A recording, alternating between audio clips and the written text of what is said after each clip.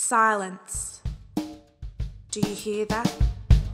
Violence, boom! But we mustn't talk about it because that's taboo. I must remain silent. Shh. The media talks of the shadow of a stranger that jumps from the bushes as he pushes himself onto her. But it's far too scary to comprehend that somebody's boyfriend or girlfriend or someone we love could hurt them. But why didn't you desert them? Why didn't you leave and run? How on earth did you become trapped with this vicious person? What were you wearing?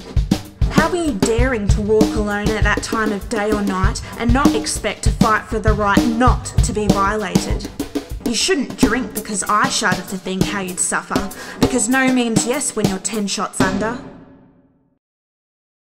Oh great, here we go.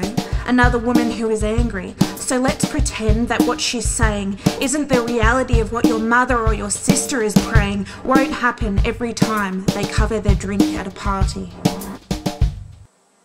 Silence! It is our responsibility to save ourselves, but his blame is shelved right at the top. You should have left. You must be blind and deaf to love someone who could break you down, push you around, punch and hit, and. and. that R word. I am the one in three who now constantly clutches their keys as I walk to my door at dusk. I must save myself because he will get off.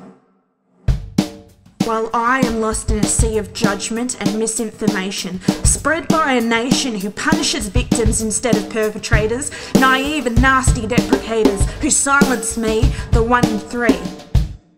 But that's fine. Pretend it's not there.